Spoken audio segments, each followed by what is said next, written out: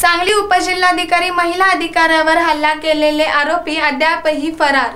Police यंत्रणा कोम्यात गेली आहे का? सर्वसामान्य नागरिकांतून तिखट प्रतिक्रिया. अज्ञाताने चाकू हल्ला करत उपजिल्हाधिकारी हर्षलता गेडाम यांना केले होते जखमी.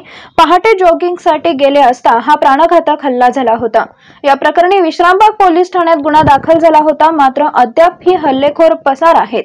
शासकीय अधिकाऱ्यांवर इतका मोठा प्राणघातक हल्ला होऊनही पोलीस यंत्रणा अजूनही शांतच आहे. जर एका अधिकाऱ्याच्या हल्ल्याप्रकरणी पोलीस काहीही करू शकत नाहीत तर सर्वसामान्य माणसांबद्दल पोलीस यंत्रणा काय करणार? पोलीस यंत्रणा कोम्यात गेली आहे का?